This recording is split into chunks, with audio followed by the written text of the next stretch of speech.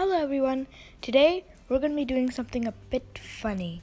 We're going to be trying and god boosting a banana farm. So we're going to be playing on Sandbox with firing range. I would say one of the biggest maps. And I'll just put my money here. Oh, oh, not zero. Okay. So if you don't know what god boosting is, Basically, it's when you apply a lot of strong buffs to one tower. For example, if I were to put this boomerang here, then the engineer has a buff called Ultra Boost, where it Ultra Boosts the tower. And there's also Overclock, so there you can Ultra Boost a tower 10 times.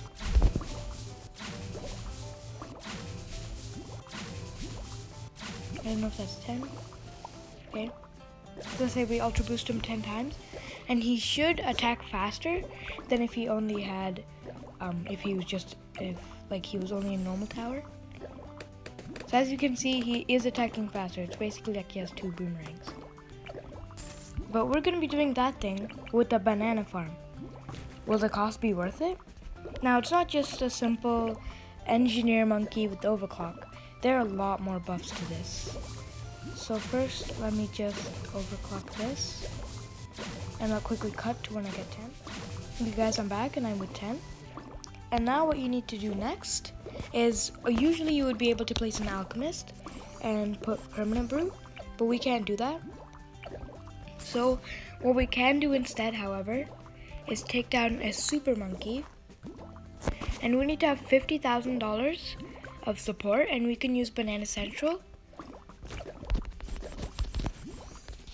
we upgrade him and sacrifice with the Sun Temple. And now this is, is going to get into the range, I think. Let's see. So if I sacrifice it. Oh, it didn't. Okay. And now you can see that it has this little buff on it. Oh yeah, we do need to overclock this guy every once in a while. And now we have that buff. And now we can get out villages. Okay, we gotta make sure. Okay.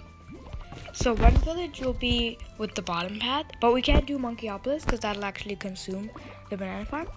So what we're gonna do instead is put a Monkeyopolis right here so that I don't accidentally buy it here. I'm gonna put a Monkey City. And then right here I'm gonna upload upgrade to Jungle Drums and then do it all the way to more defense. And now he has a bit of buffs. And now there is a thing you can do. With the submarine, there's a buff called Energizer. Oh, sorry, um, wrong path. Um, there's a thing called Energizer, where basically what happens, every tower in the radius, their abilities are cut in half, I'm pretty sure. Yeah, they're, they're cut in 20% everywhere. So that, that does mean that we can make this guy strong, but we do have to upgrade him to an Iron Master in order to get that ability. So I think we'll do that. But first, I think, I'm pretty sure that's every buff that we can apply to a banana farm. Again, we cannot put the alchemist. But wow, look at the alchemist range. Spike factory. Um, so maybe we could do a little series where I god boost every tower. Okay. So, yeah, I don't think there's any other buff that you can apply.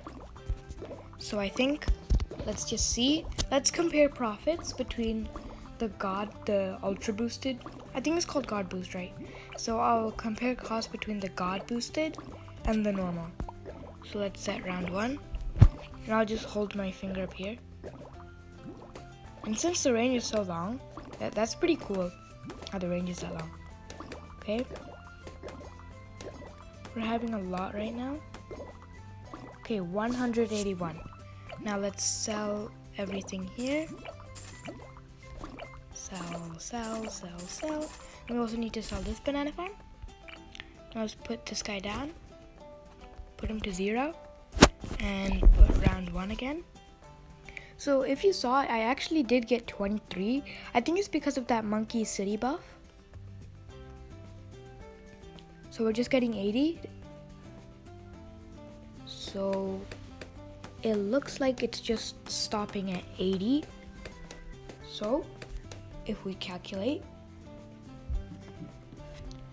181 minus 80 equal 101.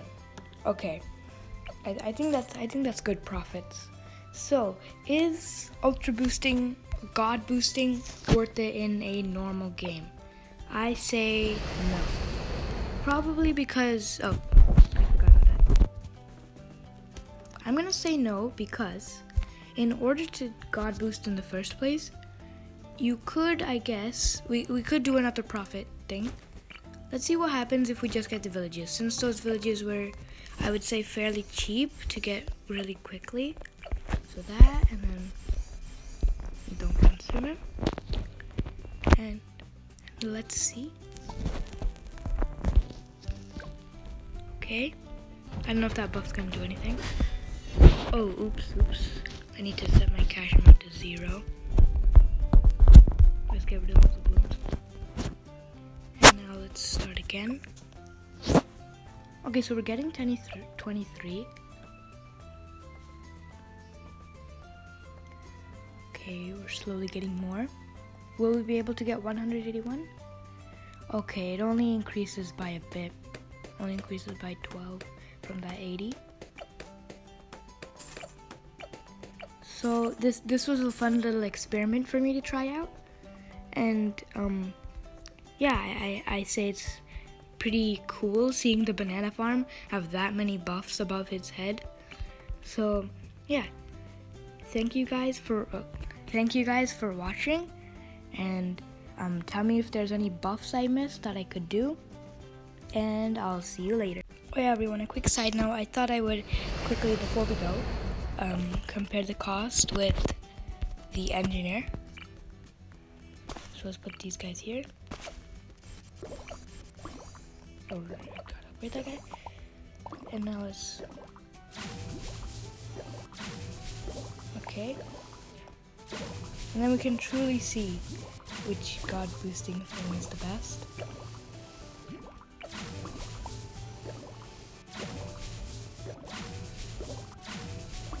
Okay, that's 10. Quickly over boosting. Now let's set the round to 1. Oh, oops, oops, oops, oops, oops, oops. Forgot. That's important. And now we do it. Okay, okay, we're we're making more.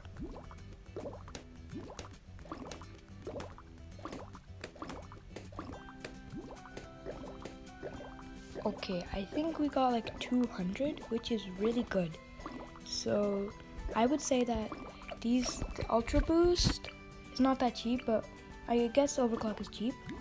So I don't know if it's the Overclock. I'm gonna say it's the Ultra Boost. So I would say that you should just stick with villages. Okay, he says 480 for some reason. So you just need to stick with villages and you'll be able to make lots of money. So that's it for real and I'll see you guys